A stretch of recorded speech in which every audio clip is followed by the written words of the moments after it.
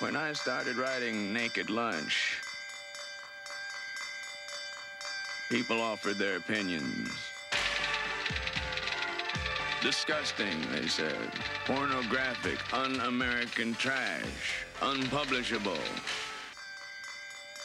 Well, it came out in 1959, and it found an audience. Town meetings, book burnings, and an inquiry by the state Supreme Court. That book made quite a little impression.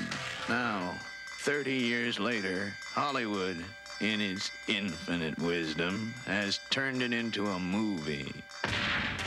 30 feet tall, in living color.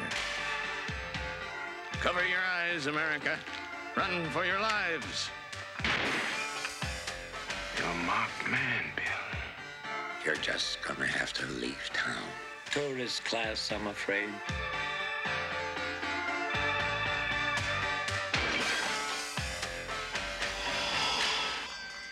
Finished with doing weird stuff.